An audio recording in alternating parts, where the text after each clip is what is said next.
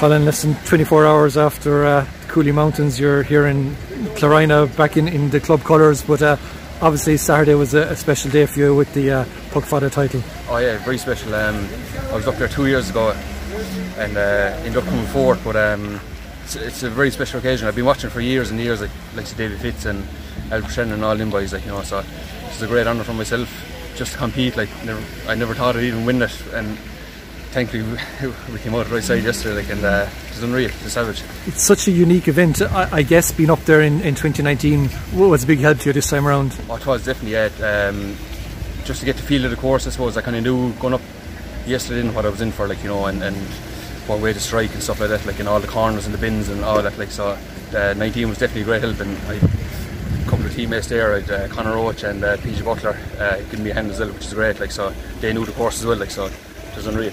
Yeah, it, there's more to it than you know. It's called the Poc Fada, but yeah. given the terrain and the the, oh, the, mountains and the bushes and briars you yeah, go through, like the rough terrain and all that, like you know, you're, you're trying to hit for level ground, like and stuff like that, like trying to avoid uh, ravines and valleys, like so. And thankfully, I, I avoided all them yesterday, like so, which is a great help, like you know, it kind of got me over the line, like.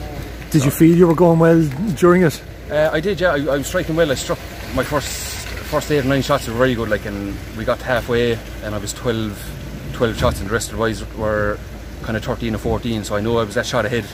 And I just said to myself if I keep striking well I'll, i should see it through like thankfully I did like so I finished with a shot ahead like so it's unreal. It's not exactly something you can do specialised training for I guess. no it's not it's not. No, we're lucky enough I, I'm on Nicker Hill there so I just had the foot of it like so the, the few of us in Duff there last week just to just kind of get our, our, our footing around through the rough terrain and stuff like that like so the, that was a big help there yeah. yeah.